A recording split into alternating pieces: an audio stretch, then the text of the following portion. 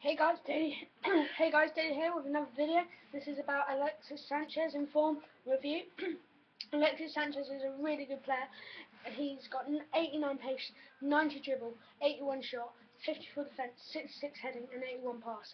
He's a really good player. I would have him in your Liga BBVA team instead of Di Maria because his work rate is so his work rate is so much better than um, Di Maria. He gets back and helps as well, and he and he's amazing on the attack. I would really have him on your team because he's a very good player. Got a good pace, bomb down the wing to get crosses in. He's got a good dribble, dribble past all the defenders to get a good chance on goal for the team.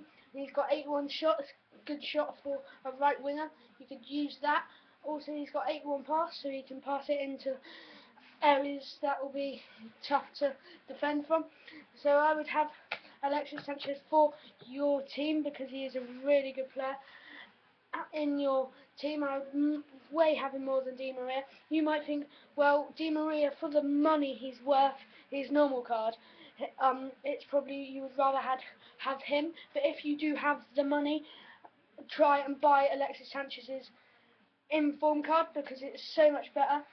But as you think Di Maria's inform card, you might want that instead, but I would say Sanchez's inform card is still better than Di Maria's card.